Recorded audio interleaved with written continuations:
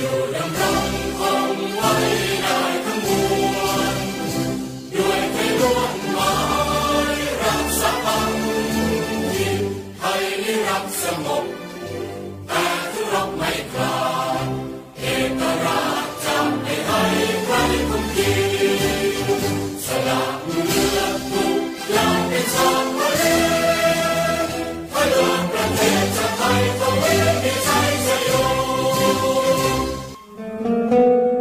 ประชาสัมพันธ์เป็นความสัมพันธ์ระหว่างประชาชน หรือให้ประชาชนเข้าใจสัมพันธ์กัน และงานกิจกรรมต่างๆ ก็ต้องอาศัยการประชาสัมพันธ์เกือบทั้งนั้น ถ้าทุกคนตั้งใจทำเพื่อให้ผลที่เป็นประโยชน์แก่ส่วนรวม ก็เชื่อได้ว่า ส่วนรวมจะอยู่เย็นเป็นสุข พระราชดำรัสพระบาทสมเด็จพระบรมชนากาธิเบศรมหาภูมิพล อดุลยเดชมหาราช บรมนาถบพิตร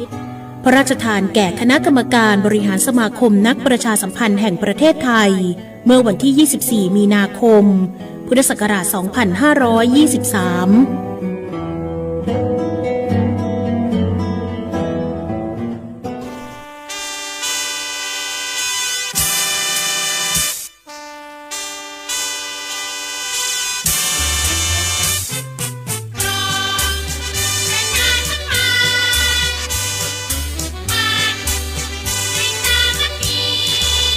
อรุณสวัสดิ์ค่ะท่านผู้ฟัง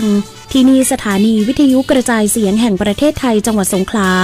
ทำการส่งกระจายเสียงจากอาคารห้องทรงหมู่ที่สองตำบลพะวงอำเภอเมืองจังหวัดสงขลา